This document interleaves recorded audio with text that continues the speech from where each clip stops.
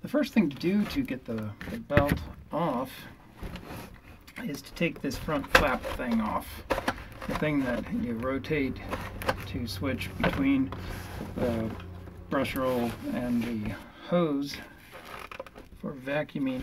To do that, just pull out on the sides and pull forward and it'll pop right off.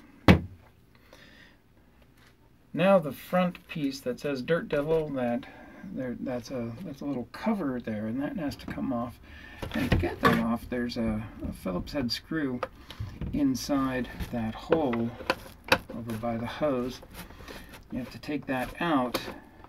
It holds that cover in place. I use a magnetic tip screwdriver so that the screw will come out with the screwdriver. Now to get this piece off, just push down on it. I might have to wiggle it around a little, but it's pretty easy to do. Now you can see the, the motor shaft. And it still has the belt on it. To get that belt off, grab a screwdriver, slip it down under the belt, and then pull, oops, pull up on top of the shaft, lift up a little bit, bring it out over the front of the shaft, and just drop it down in. Now we need to take the screws out. See there are a couple screws on this end cap. We need to take those out. When you take these screws out and take the end cap off, there are two other pieces that might come off. They don't have to come off, but if they come out off, don't worry about it. It's easy to put back together. Uh, this is the way, uh, the easiest way, just pull that off and these other two pieces stay in place. This black flap, if it comes out, don't worry about it. Just put it back in in its groove there. Always make sure the, the tab is at the bottom end of it. The other piece that can come out is the hose, and that just goes in the top groove there.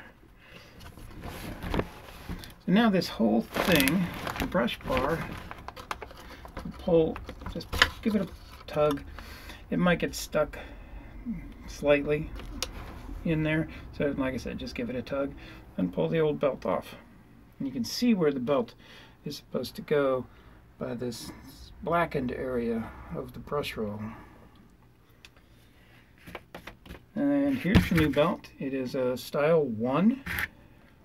Slip that over the brushes. I already feel that it's tighter. It went over the brushes a little. It was a little more difficult to get over the brushes than the old one was. Slip the octagonal piece down in. There's a there's a spot on the bottom where it goes. You'll be able to see that. Just make sure that when you put this in, you're putting the belt so it lines up with this piece, not at this end.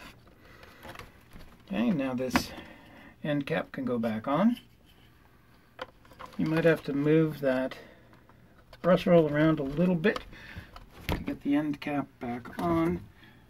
After it's on, you'll you'll you'll feel it go into place or see it. Put those screws in. Remember, you're dealing with plastic, so you know make them tight, but don't over torque those things.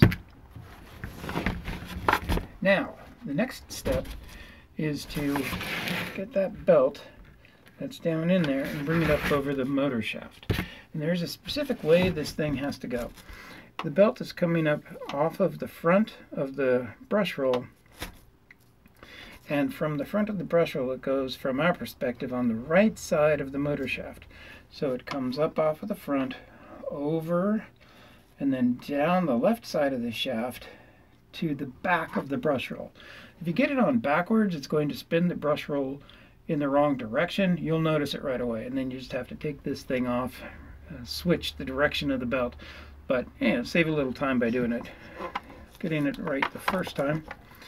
To get that belt onto the shaft, slick, stick a screwdriver through the belt, put that screwdriver up onto the shaft, and then just guide it into place.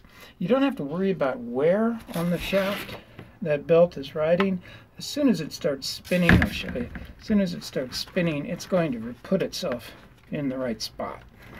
The next step is to put this cover back on. Just line it up and push it up into place. Remember to put that screw back in the side.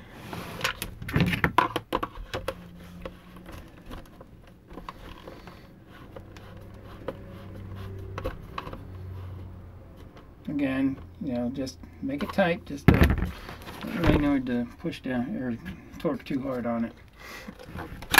Make sure this is for functioning properly. This one is.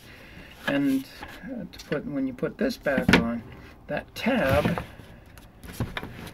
needs to come up through that little slot there. So put it on and make sure that that tab goes up into that slot. See right there, I missed it. Now I'm to go up and grab it. Okay, now we're good. And test that to make sure it's working. That should turn, that should be black every, everywhere you see it. All right, that all looks good. Now it should be working properly.